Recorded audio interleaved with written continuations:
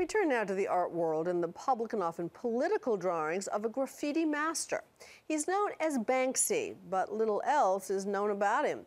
You see, he is unquestionably famous, but at the same time, unknown. Just last week, San Francisco woke up to what appears to be six Banksy originals. So, who is the private man behind these public works, and how does he make a living? Nick Watt is hot on his trail in tonight's Sign of the Times. I'd call this one of the stranger sights of recent days. Crowds gathered at the LA premiere of a movie made by a faceless graffiti artist from England. What do you think the appeal of Banksy is? Oh, that's a good question. I don't know how to answer that. He's exhibited in London and LA. He's collected by Brangelina. You would be looking to pay in the region of uh, half a million dollars. Some of our oldest collectors who uh, only have collections of Picassos, they own Banksy. He's made political statements at Disneyland and on the wall that keeps Palestinians away from Israelis. He's made countless more frivolous statements elsewhere, but no one knows who he is. You didn't deal with Banksy directly? Not directly, no. No, I've never met Banksy. I have no idea who he is. Could be you.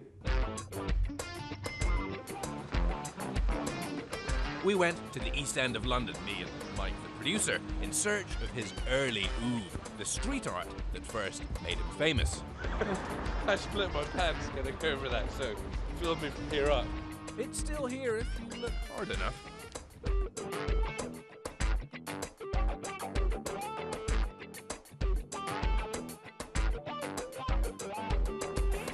And it's getting more and more valuable. we saw an opportunity and we took it. Bradley Ridge and a friend bought this wall, spent nine days removing it, thousands of dollars transporting it, and 60 days restoring it. But Banksy won't authenticate it. He doesn't like people to profit from his street pieces, which is fair enough, we understand that. And that doesn't say that there isn't a market for it. It's for sale at half a million dollars. Do you think that's one? Yeah, could well be. If it is, I'm surprised no one's stolen the door. Maybe we could steal the door. Most Banksies are left to fade in situ. Here, a very rare alleged Banksy sighting. The BBC has searched for him. We have established that as a teenager, he grew up in a quiet suburban street. The people who live here don't want their property to be identified. The Daily Mail claims to have found him. Robin Banks, they say, and here's a four year old photograph of him. Banksy, after some negotiations with one of his handlers, agreed to have a chat over email. So, I'm assuming you will never reveal your identity. Why not? After a few hours, a reply. I haven't gone public because I don't want to go to court. I don't want to get prosecuted, and most of all, I don't want to disappoint people with my miserable face. He was certainly the grimiest person I've ever met. He had a, um, a, a, layer of dirt uh, on him, under his fingernails, on his face. Elizabeth Wolfe was an intern at The Guardian when Banksy, supping Guinness in a pub, gave her boss the only face to face interview he's ever given people think that I'm sort of one of two people that have ever really met Banksy, and I'm sure tons of people, millions of people have met Banksy. They just thought that he was a handyman and, and didn't think anything of it. Apparently, his parents still think he's a house painter, or so the myth goes. Why do you do what you do? I try to make pictures that work with their location and have some kind of point.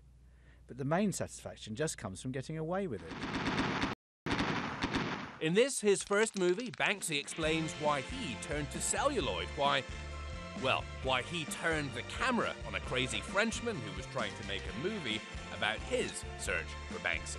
Most normal art is built to last like hundreds of years. It's cast in bronze or it's oil on canvas, but street art has a short lifespan, so it needed documenting.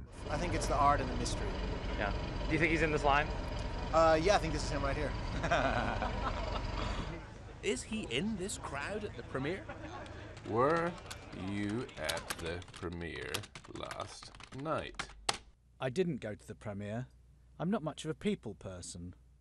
What Banksy has achieved in our celebrity obsessed age is a magnification of his own celebrity by hiding from it. I heard he's uh, like six gorillas. That, I suppose, is art in itself, and perhaps more of a statement than any he has daubed on concrete or canvas. I'm Nick Watt for Nightline in London. He certainly has a sense of humor. Nick Watt searching for his own Banksy.